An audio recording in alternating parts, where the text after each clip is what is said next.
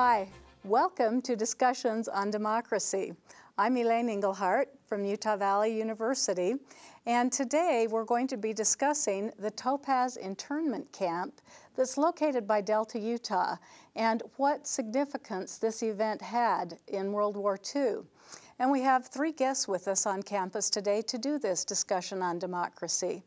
This is brought to you by the Center for the Study of Ethics, and it's a dream we've had with the Ethics Center for quite a while to be able to do these types of discussions. And so um, first I'd like to introduce you to Cherstin Lyon. And Cherstin, can you tell us a little bit about yourself and why you're involved in um, discussions about the Topaz internment camp and other events of World War II? Sure. Um, I'm a professor of history at California State University down in San Bernardino. And um, while I was doing my research to become a professor, getting a PhD, um, I started doing some research on citizenship. And that research led me to um, do some oral history interviews with some men who, during World War II, were put into internment camps. And, um, and then they received draft notices while they were still being held. And they refused. Um, they tried, in some cases, to make a test case out of it, and in some cases, just um, just decided that it wasn't right to be drafted into the military while they and their family were being uh, detained in Topaz in, in one case and in Colorado in another case. And so I started doing research on that, um, and that led me to write a book manuscript about that particular incident. And it also led me to meet uh, Jane and Steve and get more involved with what Topaz was doing uh, to preserve that history. Oh, well, thank you. And uh, to my left, we have Jane Beckwith. And Jane, thanks for coming. And tell us a little bit about yourself and your involvement in the Topaz Project. Um, I'm a high school English teacher, and I had, in 1982, I had two fairly large journalism classes, and um, I teach in a small school, so we needed more topics to talk about. And I thought, well, let's start with local history, and we started uh, investigating topaz, and um, it was it was a very dynamic time. Students would go out into the community and find out things that had had um, occurred there before either of us were born, and uh, come back and report to the class. And so we were all teaching each other. And uh, the the history of topaz is so complicated and and really compelling that um, I just never really stopped thinking about it. And uh, Steve, would you tell us a little bit about yourself, your background, and, um, and your experience with sure. the Topaz Project? My mother was from Oakland, California, so she was one of the ones, one of the ones interned out at Topaz. And so that's where my interests lie. And then uh, about six years ago, Jane and the other board members on the Topaz Museum Board asked me to be, become a board member with them. And so it's really within this last six years that I've really uh, even learned about internment. And so most of my understanding has just been in a short period of time. So. Did you have some visits with your mother about her experiences in internment? Uh, very little. Um, the internees are very much like the World War II veterans. Uh, there was very little family discussion about internment. Every once in a while, my mother would mention something about, yeah, we did that in camp, or, you know, and, and so the term camp was always kicked around the house. But uh, we never went into detail with her about what life was like in, in the internment camp or or any of the strife that they went through. These last six years must be really quite startling for you to find out what she went through. Uh, what, what very much like. so. Yeah. Uh, and the more, the more I get into internment, the more different facets of internment you turn over, and uh, the deeper I dig, and the more interest I have in in the subject. So. Oh well, thank you. Well, Cherstin, why do you think that the government decided that they needed to even have this concept of internment? Why was it uh, even uh, a necessity to put the, the, the Japanese Americans or even uh, Japanese who were visiting in these, these camps? My response, I guess, would be that the government didn't do it. The government was very fragmented about this. So uh, a minority of people within the government um, had uh, long-standing fears and prejudices against uh, Japanese immigrants and against Asian immigrants um, entirely, especially um, Chinese immigrants. And those kinds of racial prejudices carried over into the war. And um, so the minority believed, I think, um, that based on race they couldn't tell who was loyal and who was disloyal. And that drove, um, drove the movement. And I think um, the majority probably were against it, but didn't have the unification or the strength or whatever it took uh, to stand in the way of that um, during that kind of wartime hysteria. Jane, any additional insights on why the government decided to do this?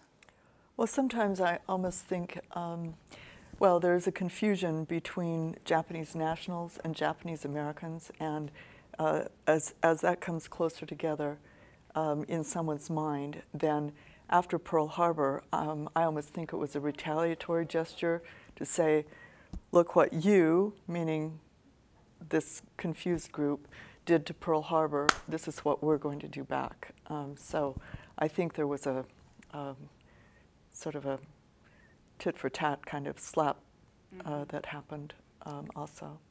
And I think that there were certain people, as Cherstin said, that had this notion and they drove and drove and drove and pushed and encouraged people to be um, uh, fearful.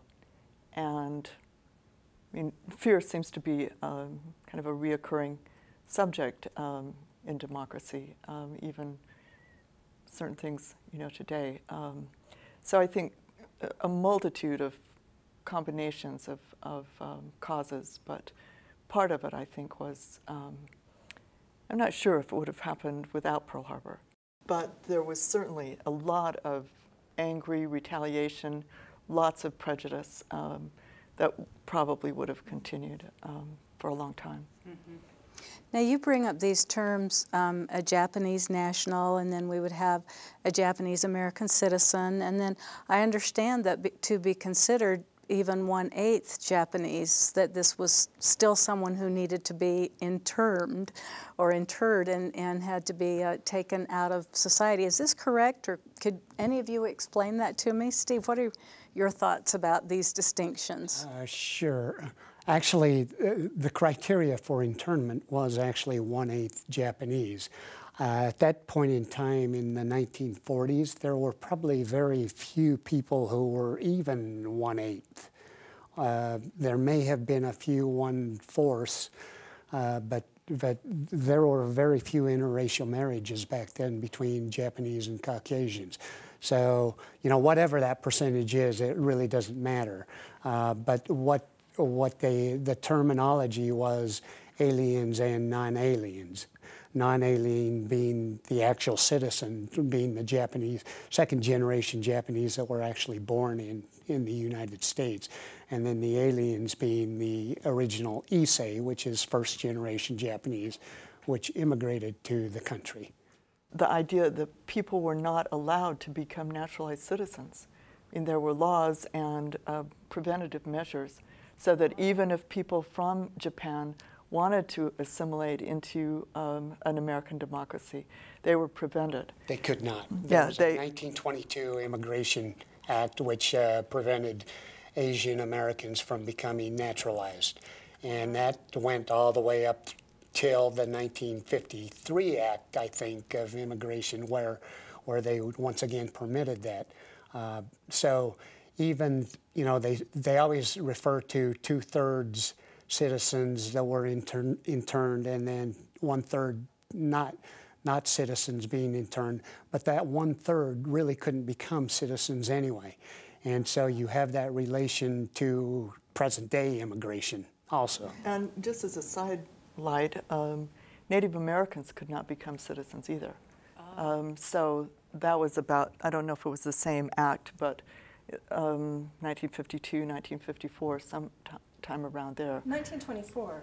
1924 was the, the is blocking. The is, is the first time that um, Native Americans became citizens, or oh, could 1924. just mm -hmm, okay. that could just uh, automatically become citizens, um, and it comes back to that deep-seated prejudice. Um, after the Civil War, um, or up until the Civil War, only free white persons could become citizens of the United States.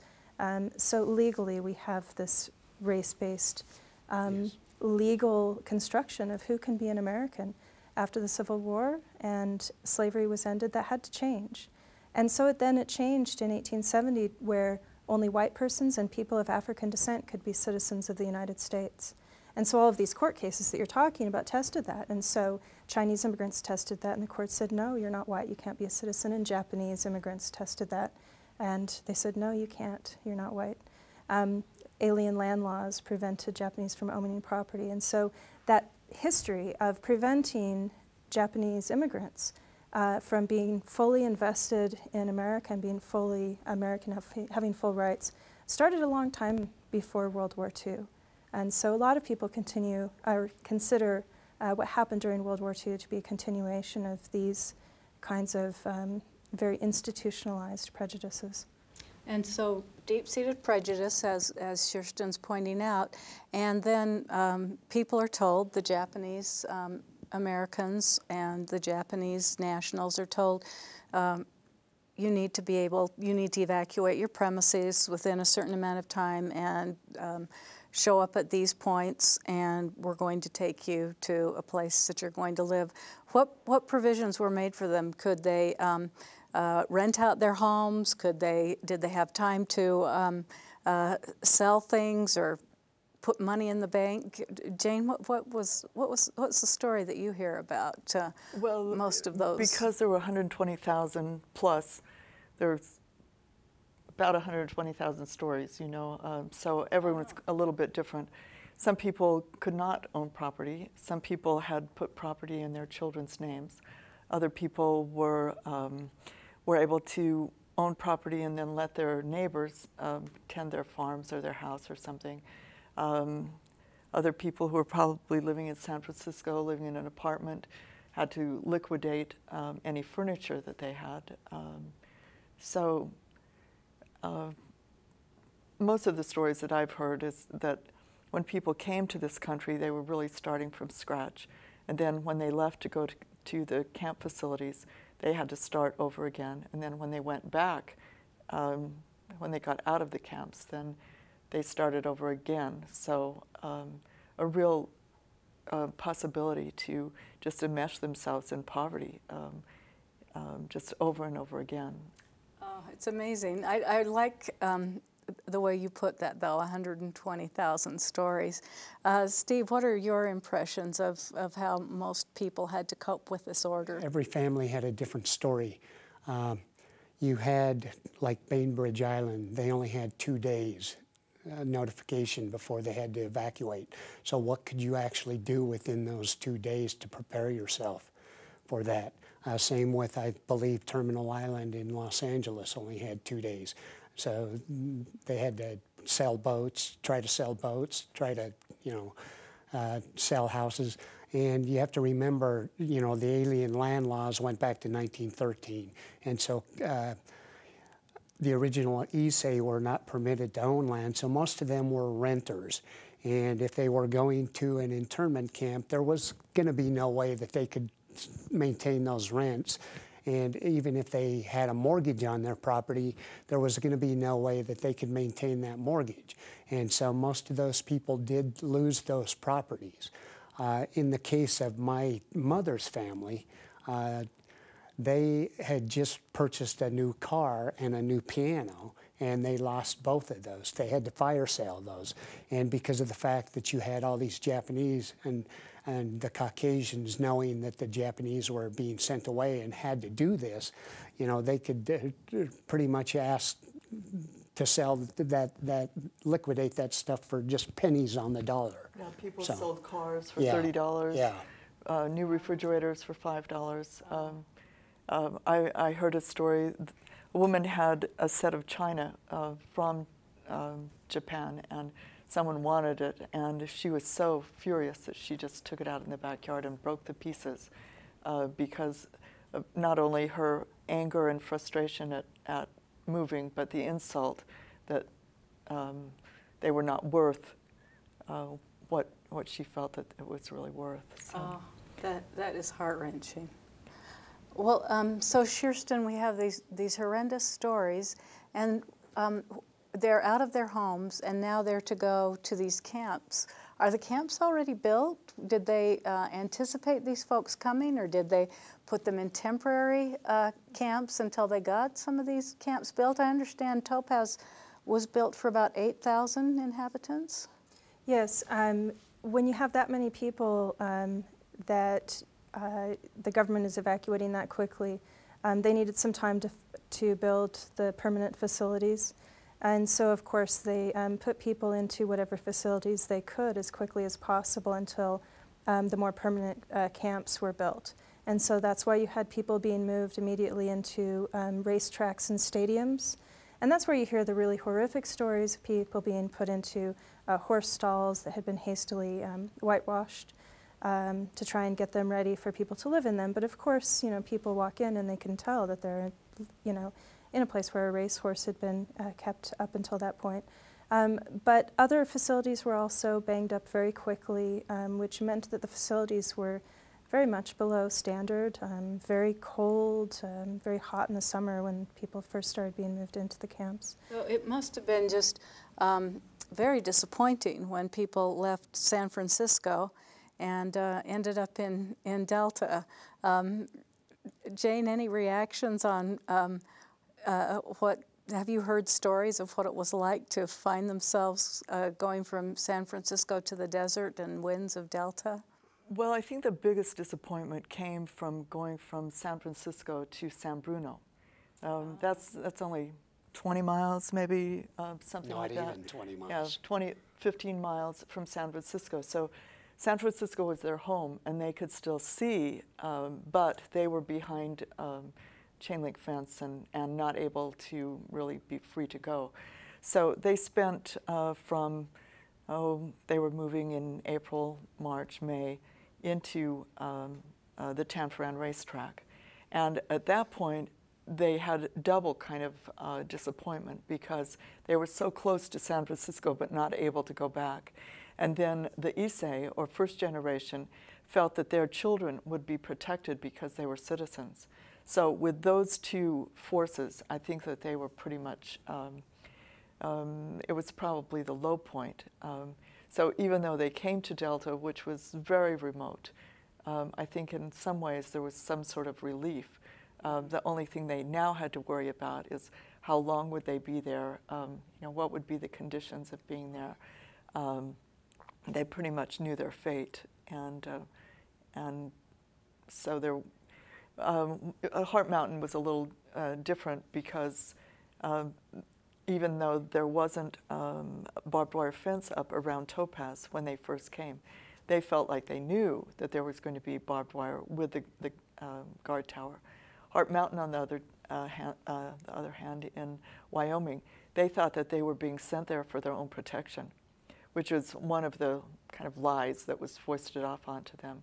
And so um, once that fence went up in Heart Mountain, then that was a demoralizing time uh, uh, for them also.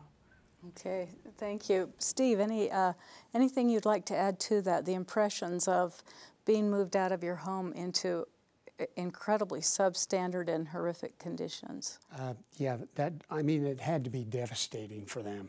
And I think Jane is right in that the devastation probably took place going from home to the the temporary camp, whether it was Tanforan or Santa Anita or you know one of the other ones. Uh, but they the government chose racetracks uh, because their criteria, the government really didn't know what they were doing in the beginning. And so the government didn't know exactly where they were going to house these people. So when they didn't have the camp, get the camps ready, what the government actually anticipated was that more of the in, uh, Japanese Americans would have moved inland on their own during, they had a uh, quote, unquote, uh, voluntary evacuation period, of, which lasted about three months or so. And not enough people went. And so that's when the government started fretting and started constructing these camps. And then they looked for temporary housing. And so their criteria was they were looking for places with water and electricity. And that's how they settled on the horse race tracks, is because those were the largest areas with water and electricity. So they moved them into the race, and that had to be the most devastating period. I think going from there to the permanent camps was not so bad. Uh, what was probably still weighing on their mind is what was going to happen with them.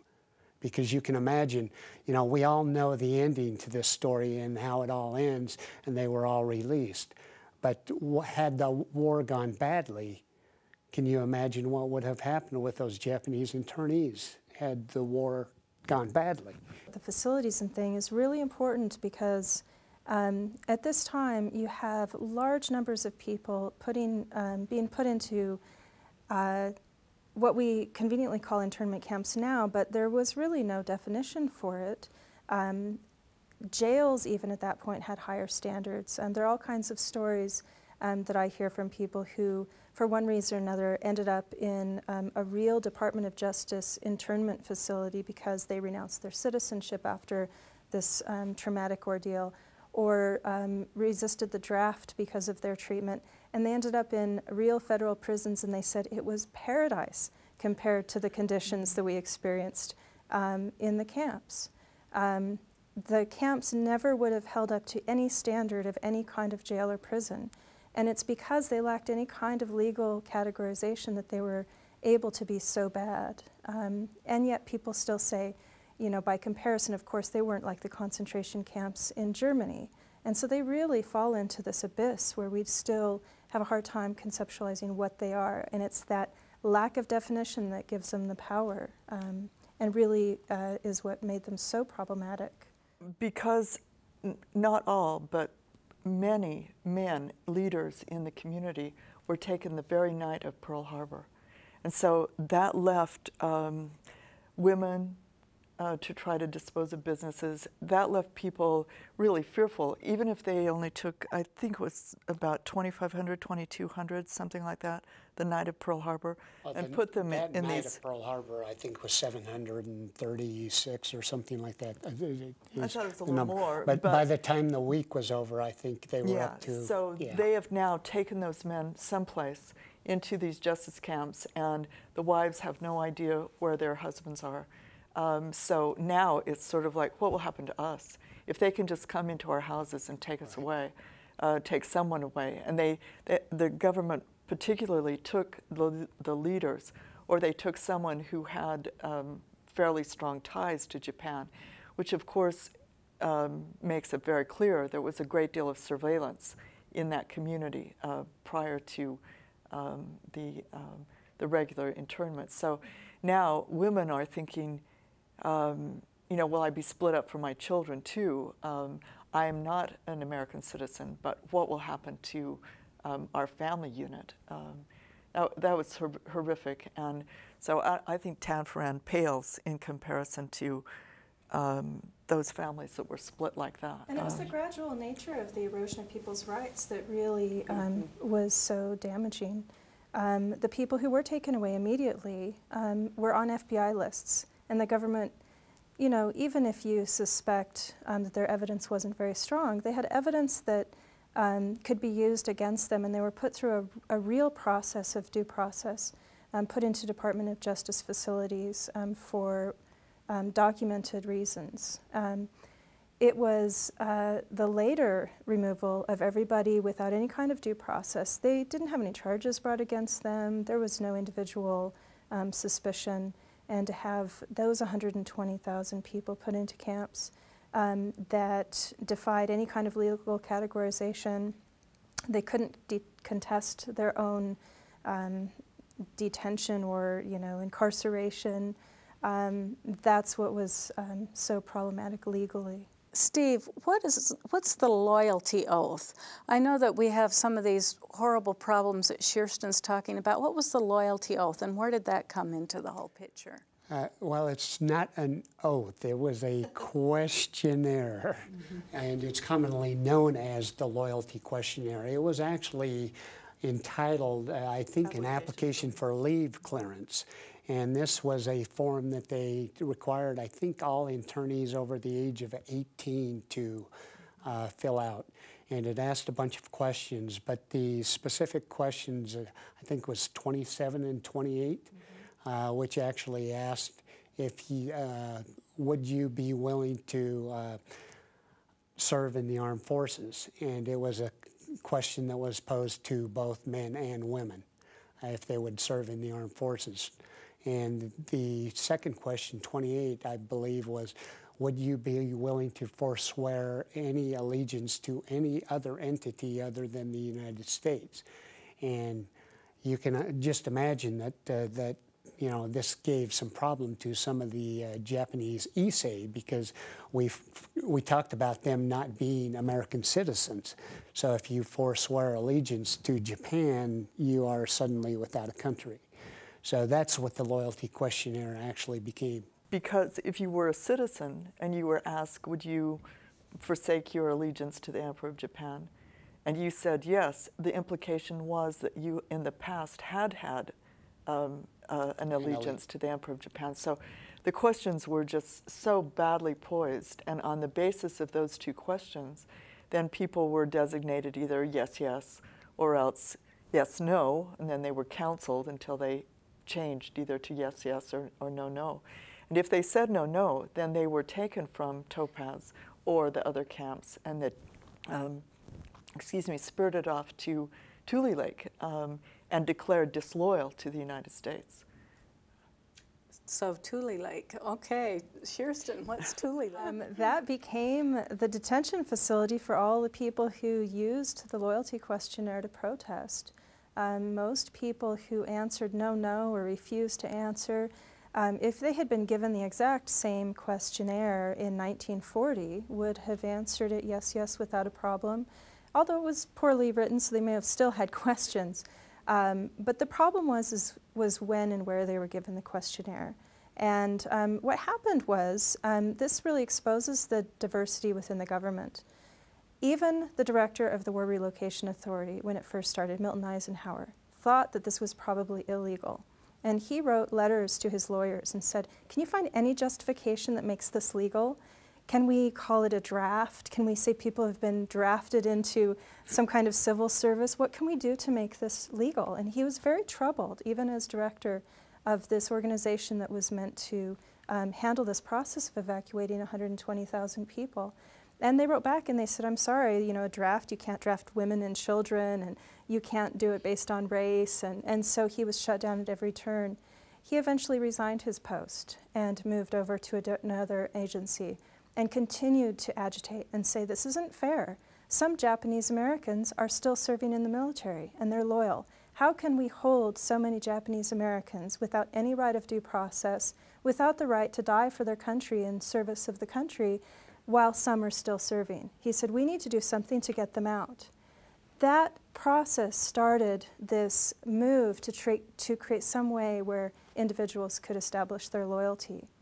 So when it came down to filling out the questionnaire and having just a very bureaucratic process of determining who is loyal and who is not loyal, then people in the camp said, if it was so easy to determine who was loyal and who was not loyal, why didn't you do this months ago? Yeah. And so it created a lot of problems for the government and actually exposed a lot of the flaws, uh, the flawed logic and the flawed legal basis for the camps.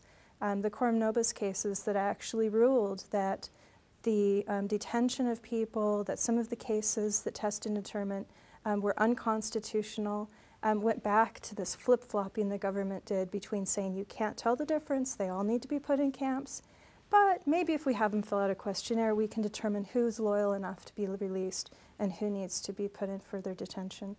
So it creates all kinds of problems. There were families, uh, members, two might say yes, yes, and four might say no, no.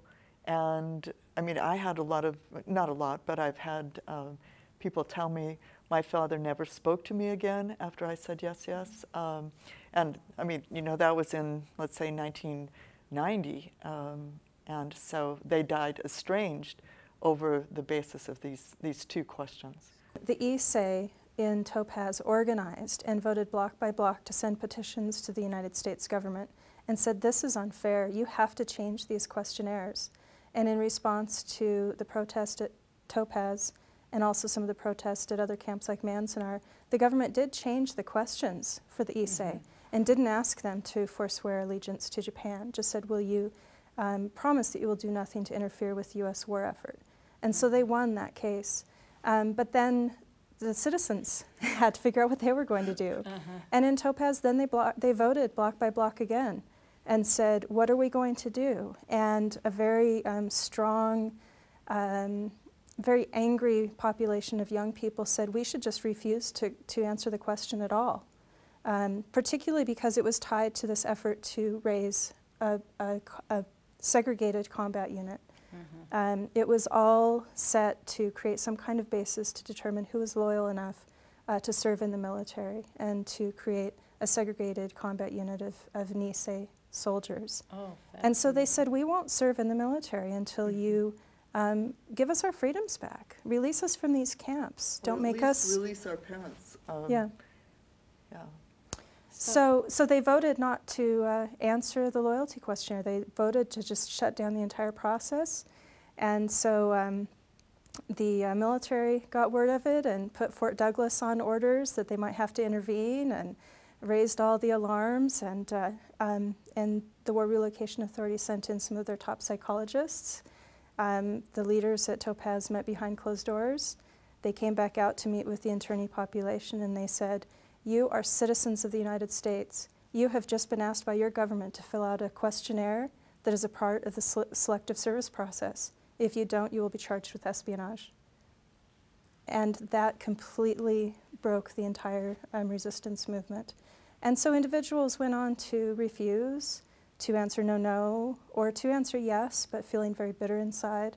It splintered the community from being a very organized, very democratic uh, kind of unit that really tried to protest their unconstitutional treatment. Mm-hmm. Once the camps were open and people were free, that um, that kind of reaction didn't really stop because um, I, I have a lot of people who come to Topaz. Um, you know, they come back to visit, and so other people say, and I've witnessed this. They'll say, "Well, what camp were you in?" And someone will say, um, first I went to Tule Lake." So it's always first I went to Tule Lake um, because if they say I was in Tule Lake afterwards, that's that's a real mark that says I said no, no, and for 40 years, 50 years, 60 years, they've had that stigma that says I was declared um, or I declared myself to be disloyal or the government um, uh, interpreted my answers to be disloyal. So that just didn't stop uh, the minute the war was over and everything was fine and, and um, back to normal. Jane, maybe you can tell us a little bit about what's going on in Delta at this time, because here we have all these events that Cherstin has just described, and then you've got this community that's smaller than, than the internment camp, and they're not used to this, this kind of activity going on. How, how are the folks in Delta responding to having an internment camp there? Uh, well, you put that in present tense as if kind of now, and I'm going to kind of throw it back to the tense during uh, the 40s. However, I wasn't born then, so you know I might be suspect on uh, my scholarship here, but um, I think that there were plenty of um, very varied reactions. Um, uh, there were people in town who were pretty isolated. Um, uh, there were a fair number of people who felt like Japanese were not to be trusted. There were people, I'm sure, that felt like they got what they deserved because of Pearl Harbor. I mean, there were all kinds of reactions. But as the war went on and as uh, people in Topaz stayed, it seemed to me that the more Delta people interacted with Topaz people, then they got to know them as human beings instead of someone that was frightening or someone that the government had said were potential saboteurs. So some people invited um, the internees to come and work. And because of gas shortages, um, Topaz is 16 miles from Delta, so they would actually live in the house um, in, and live there with the family that had invited them to work. And so that made quite a difference. Um, so just as there are 120,000 stories from the Japanese American point of view, I think that there were many stories that are pretty difficult to categorize in, um, in Delta. But Delta was small, 1,500 people. Um, the camp had 11,000 people go through. um, maybe peak population 8,100, um, 8,300, something like that. Um, so I, I think it would have been pretty exciting to be alive then and find out exactly what happened, but I don't know. Uh, Yes, I, th- I think so too, because um, I come from that community as well, and uh, um, th- the stories are, are, are were, were rather scarce. We we had known about it, but we didn't we didn't hear very much talk about it. Uh, so I don't know if the community felt shame about it or or or uh, what I their reaction was. Because Japanese American community has always uh, maintained that they were silent. They talked about camp.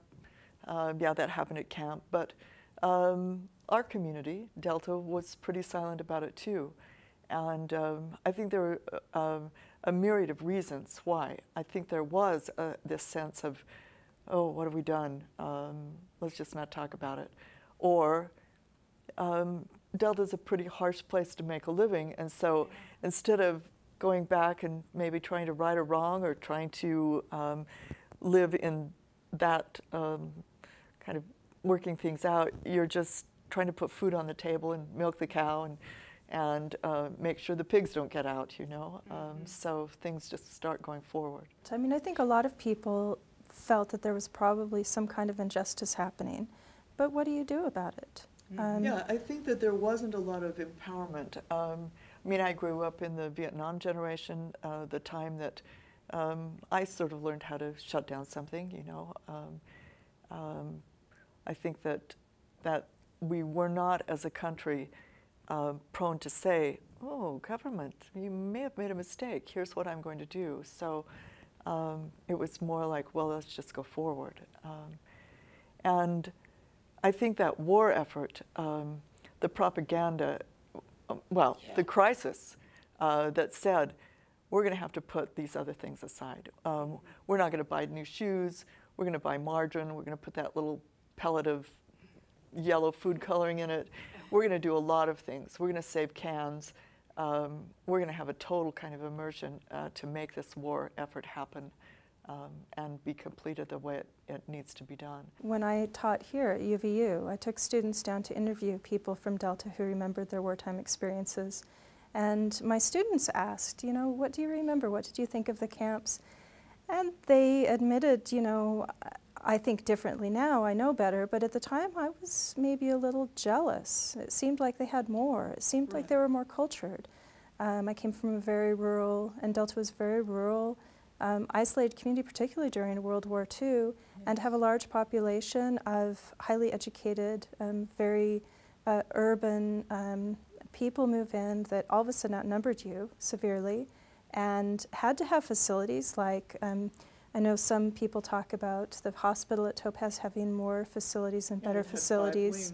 Um, the Uh-huh. Delta Hospital could uh, take care of 11 patients, 13 if they use the, um, uh, the operating room. So And the illusion that if you did nothing, you still got fed, and, and as a Delta resident living on a farm where, you know, maybe you might skip a meal. Um, some kids, especially because, you know, now that we're interviewing people, we're interviewing people who were young during World War II, the people who are still alive. They talk about the sense of jealousy, and, and my students kept, came back from that experience um, recalling one story in particular um, that when the people of Topaz were allowed temporary passes to go into Delta, um, these kids um, perceived that they were buying all of the snacks and the treats. And this one woman said, You know, I didn't know anything. All I knew is that um, uh, there weren't any Twinkies on the shelf anymore um, when the internees had come into town. And so she said the local shopkeeper learned to pull back half of the Twinkie supply and then put it back out after um, the people from Topaz had had their temporary pass so that the local kids could come and buy their treats. Um, so that kind of basic level of misunderstanding was, was very common. You know, people didn't necessarily understand the bigger picture of what was going on, except their day-to-day experiences of what was happening. And I- think there's, um, I feel a real sense of admiration for some of the families that did invite Japanese Americans into their household. Um, you know, one little girl was maybe about in the seventh grade, and she said, My friend said, Aren't you afraid they'll kill you? And she said, No, they're my friends. And then she said, but he did break my little brother's trike because he was pushing him and stepped on the axle and and broke the trike. So, um, so a, a, more human kind of interaction seemed to be a very forgiving kind of interaction instead of that um, continued isolation. Um, your, your father invited someone into your home, or your grandfather no, did? Um, my father invited someone to um, work in his newspaper office, and uh-huh. instead of living in the house with my family, uh, he lived um, at the newspaper office. Mm-hmm. And there was no shower facility, no bath facility in the newspaper office, but um, my mother invited, uh, his name was Harry Yasuda, into our house to cook Japanese dinner uh, for her friends. They had a, a party and, and invited people to come over. So um, Harry Yasuda's name was a household name um, for us. Um, I never met him, but my mother continued to talk about him uh, long after they were gone. Well, Steve, um, uh, uh, asked students if they've heard of this before of the internment camp, and you mentioned that you hadn't heard much of it before. Why do you think it's something that we don't talk about, and why is it important to educate people on this past chapter of, of World War II history? Well, it's changing, and I think internment now, uh, in the present day, is much more in the spotlight than it's ever been. And a lot of that relates to Cherstin's uh, not knowing where that legality lies between our government and its people. Uh, so we're seeing a repetition of those very same abuses of presidential power, legislative power, governmental power. Uh, but uh, I didn't learn about very much about internment because we were never taught it in school you know, our, uh, each of our nations, whether it's the United States or any other nation, we all have blemishes on our records, and those which we'd rather not talk about. And internment happened to be one of those up until you know just recently, and so now it's being taught much more widely than it ever has been. And it's very useful today, I think, very useful today. And I, I kind of refer to it as the Swiss Army knife as, of social studies because you can talk about immigration issues, you can talk about race issues, you can talk about presidential powers, military powers, civil rights, constitutionality. You cover the whole gamut, the whole spectrum. And so that's why, you know, I think it's very, very useful in today's education. And Cherstin, you were talking about this, you know, teaching the students about doing public history and the, uh, getting the stories of the folks who have uh, who remembered mm-hmm. having the internment camp there. Um, do your students find these very same dimensions interesting? That there are parallels of Topaz with events today? Absolutely. Um, I have students. I've had students um, at Utah Valley and um, and then I continue to have students at um, Cal State San Bernardino who, um, who just really experience an incredible awakening when they talk to people, um, especially who are in the camps. I have one student in particular who um, we had a guest speaker come in and talk about being in Topaz, and she was just on fire for months afterwards. She wanted to know more. She ended up signing up for a follow up class that was designated just to talk about Japanese American history and, um, and just couldn't get enough of it. Um, she's an African American student, was very keen on civil rights issues, and found this so interesting to be able to uh, discover another dimension to civil rights and citizenship and law in the United States that she just uh, couldn't get enough of it. It was really exciting, and I see that repeated time and time again, particularly with the personal interaction, um, the fact that we still have many, many people around who are willing and, and able to talk about their firsthand experiences. That means more than reading about it in books. It, it, it, certainly does, doesn't it? Jane, how about your students? Have they stayed uh, interested in this, these projects um, over the years? You've brought numerous students into it. Have they kept this interest? I'm not always able to um, maintain um, oh, the level of, of engagement that I would like. Um, uh, it just depends on what kind of class I have. You know, sometimes students, uh, high school students, can be a, little um, kind of picky. I, I, I, I, know that once uh, I was trying to talk to students about Topaz, and they said, didn't you do that last year? It's sort of like, isn't it over? Yeah. Uh, so it just depends on when you can connect with uh, with students. So um, I always give it a try, but um, we're not always as, as successful as, as I would like to be. Let's talk just a little bit about um, preserving topaz and, and why it's important to preserve it. Steve, why have you become involved in this? my, my interest is the education part.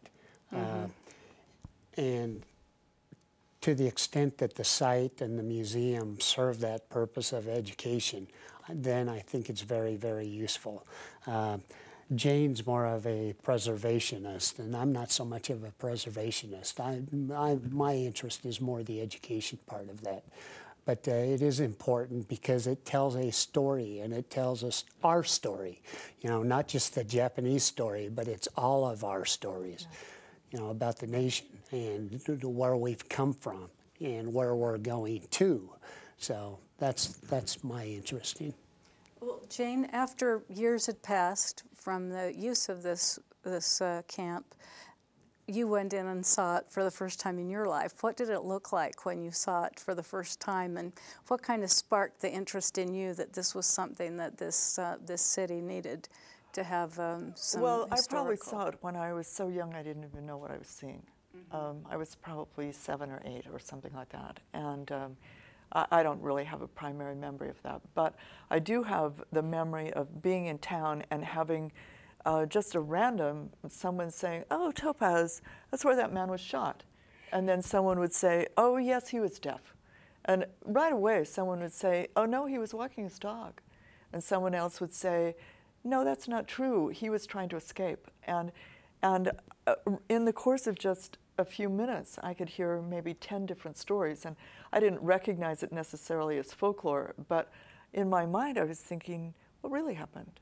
Mm -hmm. uh, and so that started my um, sort of thrust into uh, Topaz in the first place, just trying to find out a sense of truth. But you know, it is so complicated, and um, there's there's so much diversity that can happen. Um, I don't think I'll ever be able to answer that question exactly, but I still have, have more stories about it. Um, and um, so I, I have felt that um, students should be able to.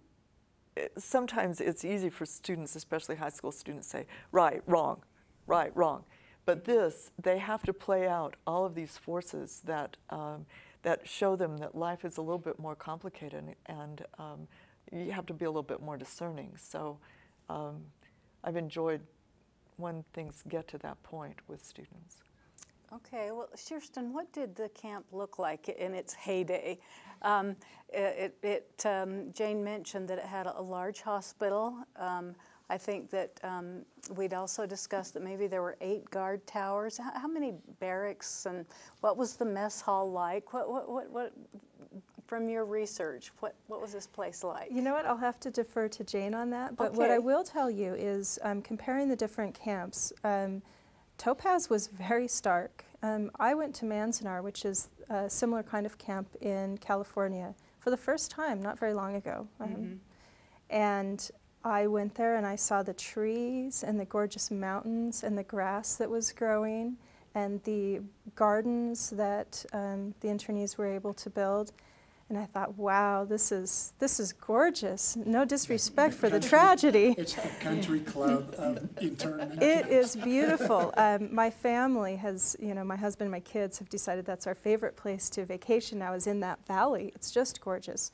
Um, I also talked to um, somebody who was in Topaz and someone who was in Colorado, and we had a group of them together talking about the conditions. And, and the guys from Colorado said something about eating eggs for breakfast. And, and the gentleman from Topaz said, What? You had eggs? Why did you resist the draft? You had nothing to complain about. So I think the conditions, um, well, I know the conditions were very different from camp to camp. You know, camps in Arkansas were swampy and had mosquitoes, and they had different issues. Topaz is unique in that it was so incredibly desolate, and the dust was so bad, and the cold could get so bitter. Um, you really had the harshest of conditions. As far as the numbers of the camp, I will defer to Jane. Well, what did it look like, Jane? Well, the camp was 19,000 acres. Uh-huh. First of all, that's that's considerable. Um, I think that's about eight miles um, long and about four miles across. And then where uh, people lived, that was a mile square. And um, actually, the the housing uh, what took about maybe seven eighths or maybe three quarters of that square mile. So 8,000 people living in less than a square mile uh, would cause lots of friction. I heard someone say once, only Japanese Americans because they well Japanese because they have this kind of group uh, attitude. You know, the group comes first. Um, could pull that off. Um, Every other um, ethnicity would be killing kill each other. yeah, yeah. Um, but um, so in the square mile, there were 42 blocks, and of the 42 blocks, 36 were ha- had barracks in them, and um, each block had 12 barracks and one recreation hall, and the barracks were 20 feet wide and 120 feet long, divided into six compartments. So the two ends were about 20 by 15, then 20 by 25, then 20 by 20. So if there were three people in a family, they would be living in a space that was 20 by 15. Um, walk it off. Um, you know, that's. Um, The, the That- that's- of what we're sitting. yes, um, there's no 1,700 square feet. There's no 3,000 square foot um, mega kind of house. Incredibly um, uh, tight. Not only are, are they cold or very hot, but they're also flimsy. So you can hear the next door neighbor crying or the babies or um, whatever. So um, the recreation halls provided some respite. Um, each recreation hall was used for a different thing. There were two libraries, one in English, one in, in Japanese. Uh, there were um, co-ops and a canteen and um, um, kindergartens and preschools and a place where there were movies. Um, so two schools, elementary schools, one high school, um, and then the administrators lived in block one and block two, and about halfway through they moved people out of um, block one into another um, residential area that they'd built and brought in 250 Hawaiians. So then that changes because the Hawaiian Japanese and the mainland, they didn't even understand each other half the time because the one was speaking pidgin English and the other was speaking, um, um, well, depending on uh, their background. But so um, that was kind of a profile of the camp. And uh, Steve, Jane mentioned that there was a shooting, that uh, uh, the guards told a fellow to stop and he didn't stop. Could- Do you want to tell us a little bit about that and why that was big news? Yeah, and Jane probably knows the story better than I do, but uh, I think it was April 11th, 1943. Uh, James Wakasa, I think he was around 62 years old, and he nobody knows exactly to this day why he was near the fence, but he was at, near the western fence of the camp, and the guard says he yelled down to him, and this is where the story comes. You know, did he hear him? Did he not hear him? What was he doing? Some people said he had on layers of clothing like he was escaping somewhere. But if you've ever been out to Topaz, you know, even if you get through the fence, there is nowhere to go. So nobody knows exactly what, truly what happened, but uh, the guard did sh- actually shoot him. Shot him directly through the sternum. Um, So the likelihood that he was going between the barbed wire, which by the way, the barbed wire was only just about four strands high. So it wasn't that 10 foot high with the razor wire on the top. So stepping through it would have been really no problem. Um, it, it wasn't an impossibility. Um, but then after that, there's uh, again a controversy. Um, one side says that when the director came back and found that uh, someone had been shot under his watch, he was so angry that he told the soldiers they could keep their guns, but he got all the bullets. And so then uh, there was a short, uh, kind of a works uh, stoppage, kind of a strike, kind of a funeral with 5,000 people attending. And uh, so there was a, a, difference in the guard kind of maneuvering, whether they had bullets or not. I'm not really certain at this point. But then people had more freedom to go out. Um, they could even go to the motor pool and check out a truck and go out into the, the desert and have a picnic or get stuck or find a meteorite or, you know, just the common ordinary things that you do when you're out in the desert. Well, sadly, our time is up, and I think that we could go on for another hour talking about this very important time in history and a time that helps define our democracy uh, for us today. So, Steve Coga, thank you. Jane Beckwith, appreciate your being here, and Cherstin Lyon, thank, thank you, you for coming and joining us. Thank you.